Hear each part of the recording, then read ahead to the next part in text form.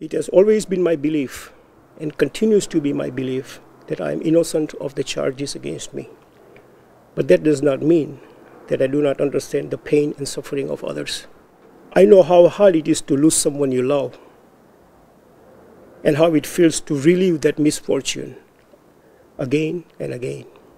In that trial, allegations were made not only about my competence as a doctor, but also going to the root of my character and my decency as a human being.